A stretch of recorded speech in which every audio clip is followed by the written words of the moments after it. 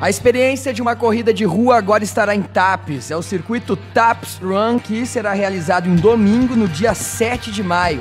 As inscrições podem ser feitas no site onlinecomunicações.com.br ou na Academia Japur Sport Fitness, na rua Professor Luiz Vieira, número 1118, em TAPS.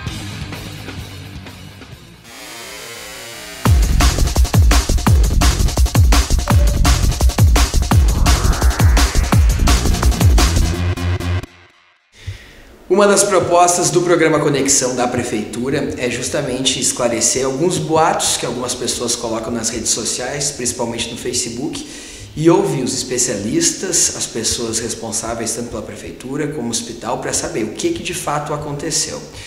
Na segunda-feira, um dos posts no Facebook colocava sobre a morte de uma paciente, sobre uma possível negativa da, do hospital sobre conduzir esta paciente que acabou falecendo em Camacuã. Por isso, nós viemos conversar com a doutora responsável aqui pelo caso para saber o que de fato aconteceu e colocar também o posicionamento da prefeitura, posicionamento do hospital Nossa Senhora do Carmo. Tudo bem, doutora? Tudo bem. Gostaria de esclarecer todos os pacientes da nossa cidade o caso da dona Irene Kologeski Badu. Tá? A dona Irene foi uma paciente que nos procurou no hospital por duas vezes por uma dor abdominal. As duas vezes que ela esteve aqui, não fui eu que atendi ela, foram outros colegas, tá? Essa paciente foi encaminhada para Camacuã para fazer uma avaliação, como via de regra, todos os pacientes com uma dor mais importante que nós necessitarmos de exames e de alguma imagem, por exemplo, a gente caminha para lá que é a referência. Então, o caminho de TAPES até um acesso de saúde um pouco mais avançado, passa sempre por Camacuã. Então, sempre a referência é Camacuã, num caso igual da Dona Irene. A Dona Irene nos trouxe no domingo, que foi quando eu atendi ela, que foi, a princípio, o que a gente entende foi o fato que saiu na, no Facebook. Ela chegou trazida pelo SAMU e a história dela era a seguinte: uma paciente que tinha dor embaixo do ventre e teve em casa um sangramento muito importante. A gente não sabe de onde veio esse sangramento porque não foi visto, mas ela sangrou bastante. Chegou no nosso hospital em choque, tá? hipovolêmico, ou seja, um paciente que perdeu muito sangue. Então, o que, que nós fizemos? No momento que ela entrou aqui, a gente estabilizou ela, parou o sangramento e tentou manter uma pressão viável para que ela pudesse ter um serviço de saúde mais avançado e um acompanhamento adequado para o caso dela. Tá? A primeira opção que nós tivemos ao avaliar a dona Irene foi que ela tinha uma cirrose, porque um sangramento daquele tamanho, inclusive quando a gente foi transportar, ela teve um pouco de sangramento via oral, a maioria dos casos se desenvolvem por uma cirrose. Tá? Então, cirrose é uma doença crônica de bastante tempo. Não se sabe por que, que não foi diagnosticado antes, mas não havia esse diagnóstico, nem da nossa parte e nem da parte dos familiares, tá? Quando ela chegou aqui, a gente estabilizou. Em momento algum foi usado morfina, como falaram. Em momento algum, nesse fato que ela chegou e foi pensado no cálculo renal, jamais um cálculo renal vai sangrar dessa forma e matar um paciente, como foi o caso da dona Irene. Então, os familiares vieram todos até nós, conversaram com a gente, estavam bastante agressivos e nervosos. A gente entendeu o caso deles. Em momento algum foi negligenciado, ela não foi atendida ou foi negado o transporte.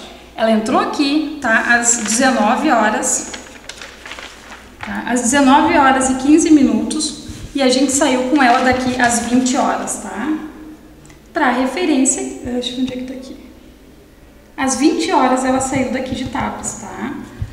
Então essa paciente foi para lá para fazer exames mais aprofundados e descobrir o que estava acontecendo. Ela saiu daqui em estado muito grave, a família foi avisado que era grave Infelizmente, a maioria dos casos de sangramento por cirrose, os pacientes vêm a falecer, tá? Porque cirrose, o tratamento é o transplante de fígado. Então, até então, nem a família sabia, nem nós aqui da, do hospital sabíamos também. Da minha parte, quando ela chegou aqui, eu atendi ela, vi o transporte e transportei imediatamente. O que os familiares queriam é que a gente transportasse direto para Porto Alegre. Um, não é assim que funciona. A gente não pode pegar um paciente e ainda mais um paciente em mau estado e transferir de um município para outro sem que tenha uma vaga para esse paciente.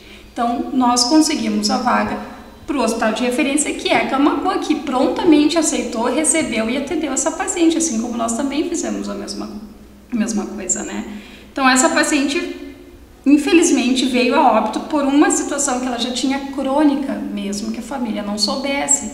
Então, todas as medidas que o hospital teve e que eu tive no momento em que ela chegou foi para estabilizar a paciente e encaminhar ela para um local que ela pudesse ter um atendimento mais adequado. Então, da parte do hospital e nossa, que em momento algum houve negligência ou negação de ambulância, como foi relatado por aí, e muito menos. A gente usou morfina, porque do jeito que foi descrito, foi como se nós tivéssemos negado o atendimento, não transportado a paciente e matado ela por causa de um cálculo renal por uso de morfina. Em momento algum se foi usado, em momento algum eu pensei numa situação que fosse um cálculo renal. Ninguém sangra daquela forma, né? Então, a gente vem esclarecer isso a todos os pacientes da cidade, porque esses comentários deixaram a gente numa situação bem desagradável, porque a gente vem trabalhar aqui para salvar vidas e não para matar, como estão nos acusando, né? Então, é isso que eu gostaria de relatar a todos vocês, que o caso da dona Irene, infelizmente, foi um caso de uma doença crônica